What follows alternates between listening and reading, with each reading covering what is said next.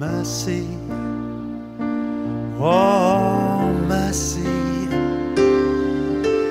flows from This from 1 your Samuel throne. 1. 1 Samuel 1. Every, everyone know the story of 1 Samuel 1? Hannah and Samuel? Any- Everyone know you all look blank. Someone briefly told me who knows that what happened with Hannah and, Hannah and her boy Samuel. No one knows, gosh. Okay. We're going to find out. And this is a really good story for kids. Um, well, they all, actually, they're all good stories for kids. And if you're a big grown up kid, it doesn't really matter. That's fine. Now, to set the background, the days of Samuel, just up to when he was born, was the end of the period of the judges, and it had not been going well for Israel. Israel was backslidden. In fact, Israel was very like our nation today. They were pretty well godless.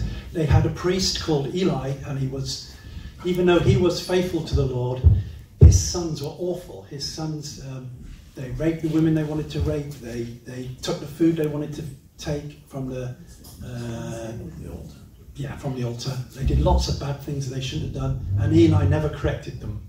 Never once corrected them. Terrible parenting. Kids, when mum and dad correct you, it's for your good. When Jesus corrects us, it's for our good. Right, who's going to be the first reader? Let me see. Let's start with Annabelle. You'll all get a go. You're all going to get a go. Don't worry. So Annabelle's going to read from 1 1 to. Get my, uh, hold that, please. Got my readings. 1, 1 to 8, the first 8 verses. Go. There was a Captain. captain, Certain, sorry, certain a certain man from Ramath- Ramathane, Ramathaim, a a Zophite, a Zephite, from the hill country of Ephraim. Ephraim, Wow, good. who was name whose name was Ikra, Elkanah. Elkanah, son of Jeroham. Good. The son of Elhara was the son of Terhu, the son of Ju, Zoph.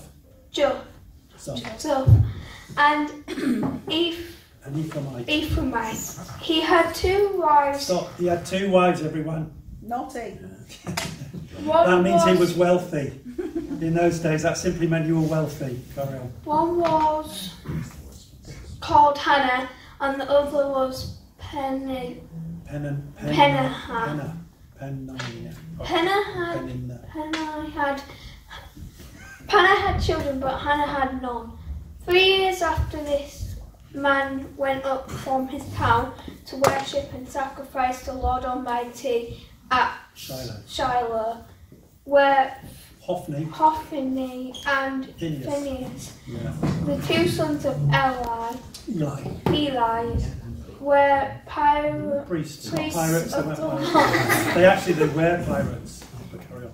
Whenever the day came for E- Elkanah. Elkanah to sacrifice, he would give Portions. portions of the meat to his wife Penny Penina. Penna. Penina. Penina. and told all her sons and daughters. But to Hannah he gave a double portion because he loved her, and the Lord had closed her womb. She was infertile. She couldn't have children. Because the Lord had closed Hannah's womb, her rival, Rival. her rival kept pro- Provoking. provoking her in order to imrit her. You never do that, you? You don't provoke your brothers and sisters to irritate them, do you? This went on year after year. Whenever Hannah went up to the house of the Lord, her rival pro- provokes her till she wept. You wouldn't provoke your brothers and sisters till they weep, would you? No. No. Uh, and would not Come on. and would not eat. Her husband Elia, Elkanah. Elkanah would say to her, Hannah, why are you weeping? Why don't you eat? Why are you downhearted? Don't I mean more to you than ten Thank sons? you. Well done. Very good. Give her a clap. So we, we've got the story now. We've got, we've got the beginnings of the story. Um, Edward, come forward, please. Just one verse, Edward. You can do it. I'll help Just you. Go and have a help you. One Just sentence, one that's verse. all. Verse 11. Come on, you carried all that flag all this morning in front of all those people outside. Come on. One You've sentence. read You it can do it. You can do it, Edward. One sentence, Come on. Grandad. Are you a pound? Oh, you don't want to. Mum will give you a pound, she just said. Ooh, bribery and corruption. Just left hand. Right, so this, what's that word there? By, by, the, by the 11. Where's the 11 gone? There, that word. And And she made a vow, yes. Lord Almighty. Almighty, if you will only look on your Servants, very good. Misery. Yes, and remember. remember me and not forget your Servant, yeah, very good. book. Give her a son Yeah, really good. there, Then then I I will give him him to the Lord for all the days days of him his life his life, and and on razor razor will ever be used on his head. Yeah! Yeah, you're next, sorry. Not just yet though, wait a minute. Did anyone get the significance of that, what Hannah's praying? She's praying, she's saying to God, God says, Look, I'm, I'm so miserable and it- it- I need a son. Give me a son and I'll give him back to you and he'll be a Nazarite. No, he'll, he'll never have his hair will never be cut. How many knew that Samuel was a Nazarite? Can anyone mention another Nazarite, a very well known, very strong Nazarite? Any kids beginning with an S? Simon? No, no. Samuel. No, no, we don't stunt Samuel. We do it Samuel. Delilah was his missus. Samson. Samson! Well done for the young child at the back there. So, a Nazarite was somebody who they weren't to drink wine or have anything to do with grapes, no raisin cakes or anything like that. And they weren't to have their hair cut. And also, the Apostle Paul took a Nazarite vow. We know that because it says that when he completed his vow, he had his head shaved. So, some people were Nazarites for life, and some people were Nazarites for the duration of a vow that they made before the temple, before the Lord. And so, what Hannah is saying, just give me a son. I'm so desperate for a son. I'll give him back to you, Lord. And he can be a Nazarite all his life and live in the temple. Good, right. We're getting there. Next reader 19 to 20, and then 24 to the end. 19 and 20. There, right at the bottom. Early the next morning they arose and worshipped before the Lord and then went back to their home at Ramah. Ramah. Ramah. Elkanah Yes, made good. love to his wife Hannah, and the Lord Stop. It's always good to make love to your wife. It's a good thing to do. and the Lord remembered her. So in course of time Hannah became pregnant and gave birth to a son. Very necessary if you want your wife to be pregnant, by the way. She named him Samuel, saying, Because I asked the Lord for him. Jump to 24, everyone. After he was Weaned. weaned, she took the Does anyone know what weaned means? Kids? Yes. What does it mean? When stop having milk and start eating solids. Stop with the breast milk. They wouldn't have had bottled or formula then. She took the boy with her, young as he was, along with a three-year-old bull, an Effa. e- ephah of flour and a skin of wine, and brought him to the house of the Lord at Shiloh. Yeah. When the bull had been sacrificed, they brought the boy to Eli, and she said to him, Pardon me, my lord. As surely as you live, I am the woman who stood here beside you, praying to the Lord. I prayed for this child, and the Lord has granted me for what I asked of him. So now I give him the Lord. For this whole life he shall be given over to the Lord. And he worshipped the Lord there. Thank you very much. Yeah, give her a clap. No, um, It's just done a silly thing, yes. Uh, yeah, good. So now we've got the whole story. So God grants Hannah's request. And she makes love with her husband and she gets pregnant. And she her womb is then opened so she can have more children after that. That would have been the deal that she struck with him. Don't think for one minute it was just for one boy that that's just to give away. She'd be up for some more kids after that. But she gives her firstborn away when he's weaned, so he's young. She gives him to Eli, who's already by now an old man, to look after with his disreputable sons when he's just a boy and he grows up in the temple in the house of the Lord. Well, it's a tabernacle at that point, it's not an actual stone building, it's a tent. And at that point in time, it's at Shiloh. Now, I looked these places up. Shiloh is in Ephraim, and Elkanah is an Ephraimite. So you'd think, oh, just next door then, isn't it? But although he was an Ephraimite, he lived in Ramah in Bethlehem, right in the south of Bethlehem. So when, excuse me, so when Hannah gave up Samuel, she wouldn't see him very often.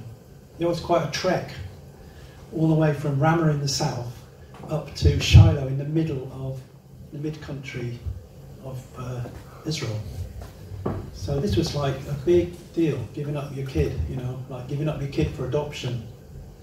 And Samuel grows up in the presence of the Lord, and we'll see that he becomes the last judge, the last judge to judge Israel. Right at the end of the period of the judges, it's a bad time in the history of Israel. They're very much like England, not following the way of the Lord at all, not even knowing really who their God is. And they don't have good priests in Phineas and Hophni. They are very bad priests, and they get killed later on, and uh, the Ark of the Covenant gets stolen. But we're not going to read that today. Jump ahead to chapter 3. Well, we've had the kids. Let's. Uh, um, Callum, did you want to read at all? No. No. Fairly emphatic. Okay. Let's have. Yeah, we'll go back around, shall we? Okay. Um, Annabelle. Right. The boy Samuel mistreated before No, the no, he ministered. He wasn't mistreated. ministered. ministered before the Lord under Eli. Eli. In those days the word of the Lord was rare. there were not many visions. How many know that that's a bit like our day, isn't it? The word of the Lord. I mean, in a, in a present company, it's not so rare.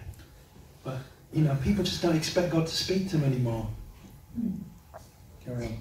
One night Eli, whose eyes were becoming so weak that he could barely see, was lying down in his usual place. The lamp of God had not yet gone out, and Samuel was lying down in the house of the Lord, where the ark of God was. Then the Lord called Samuel. Samuel answered, Here I am. And he ran to Eli and said, Here I am, you called me. But Eli said, I did not call. Go back and lie down. So he went to and lied down. Again the Lord called Samuel, and Samuel got up and went to Eli and said, And here I am, you called me. My son, Eli. Eli, Eli said, I did not call. Go back and lie down. Thank you. We'll swap over to Crystal. Very good. Clap. Verse 7. Now Samuel did not yet know the Lord. The word of the Lord had not yet been revealed to him. A third, third time the Lord called Samuel, and Samuel got up and went to Eli and said, Here I am, you called me. Then Eli realized that the Lord was calling the boy. So Eli told Samuel, Go and lie down, and if he calls you, say, Speak, Lord, for your servant is listening. So Samuel went and lay down in his place. The Lord came and stood there, calling at the other times, Samuel, Samuel. Then Samuel said, Speak, for your servant is listening. And the Lord said to Samuel, See, I am about to do something in Israel that you make the ears of everyone who hears it about it tingle. At that time I will carry out against Eli everything that I spoke against his family, from beginning to end. For I told him that I would judge his family forever because of the sin that he knew about. His sons uttered bl- Blasphemies. blasphemies against the God, and he failed to restrain them. Therefore I swore to the house of Eli, the guilt of Eli's house will never be atoned by, for by sacrifice or offering. Thank you. Very good. Thank you to all of those that read. Very good. So, um, the interesting thing here is that God speaks to Samuel while he is still a boy. We should be expecting God to speak to our kids. Our kids, when they pray, should be expecting God to speak to them. When they lay down in a quiet, God should be speaking to our kids. It's, there's nothing that says that God only speaks to adults.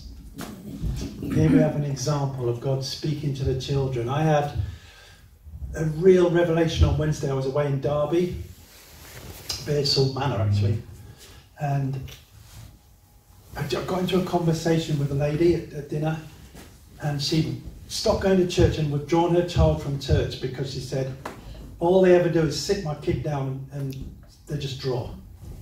Well, the service goes on around them, and I said, it, it's not good enough. I want my child to be incorporated and part of the service, not just sitting in a corner drawing. You know, it's not what I go for. And, and, and a light bulb went on in my head, and I thought, yeah, the Lord spoke to Samuel, didn't he, when he was still a boy? And Samuel was included in everything that was going on, right at the very heart of worship in Shiloh, at the tabernacle, from being just weaned. And if the church has made a mistake in the last 50 or 100 years, it is that it's just bundled the kids off to Sunday mm. school. And now we are paying the price because so many churches don't have families and they don't have kids. See, the thing is, if you bundle the kids off at a young age, when the testing times come, the times of puberty, the time of rebellion of teenage years, when that comes, suddenly, thinking, why do I bother going to church? There's nothing there for me. They don't include me, I'm not included. Nothing happening. I'm, I'm, I'm out of here. And they're gone. And then you see then the, the generations move up. And the 20 year olds become 30 year olds, and the 30 40s, and the 40 50s, and the 50s like me become 60s. And there's nobody under beneath us. There's no, you know, many, many churches, that's their story. And it should not be like that. We, we had a thing where the kids used to sing with us. And then that stopped happening because lots of people wanted to sing, and one of the microphones broke. Uh, it's been repaired, here it is. So we're going to have the kids singing again. We're going to have the kids involved. We, just like we involved them then, like, like we involved them in the communion. So many churches don't even let kids take communion.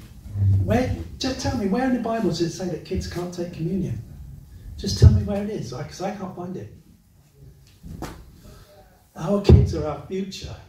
Our young people are our future. We need to make church a place where they want to be, and not a place where it's just boring ritual. And that, if that means that we have to become kids ourselves, then so be it. And I, it, the Lord placed it on my heart.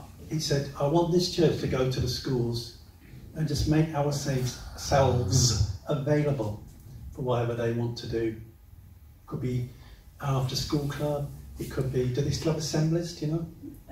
Yeah. Occasional assembly or whatever. And just say, hey, here we are, we're available. We have kids in our church and we're interested.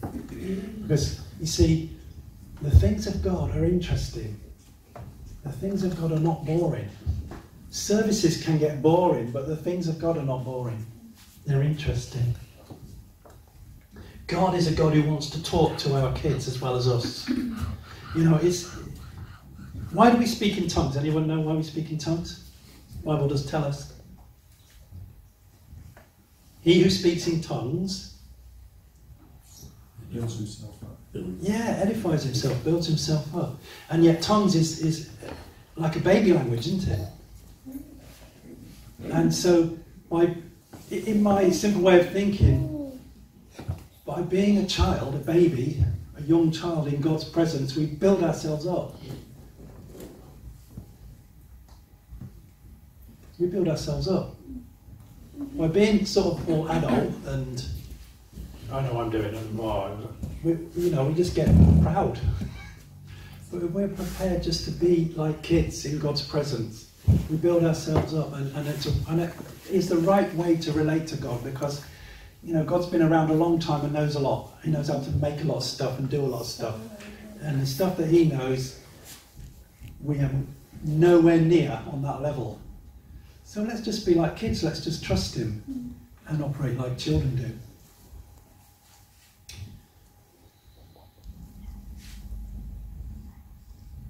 The message that Samuel received was not an easy message. We read it out, didn't we? The message was go and tell Eli that I'm utterly fed up with him and I'm going to destroy him and his family. so, God doesn't come to the young boy Samuel with a young baby boy sort of a message. Do you get it? Like we, we're trying to we, we, we're trying to think to the, tell our children, let's tell them all about David and Goliath and do it in such a way that it's dumbed down. Do you know what I mean? And I'm just using David and Goliath as an example, there's loads of other examples. God doesn't dumb anything down for Samuel, he gives him a really tough message to go and give to Eli. And to his shame, Eli does not repent.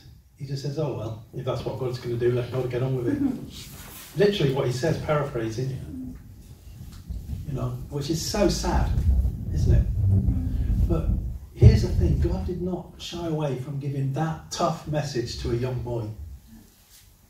See, God de- deals with his children all on the same level, irrespective of whether they're actually children or they're sort of 60 year olds like me. That's the way that God does. That's the way that he deals.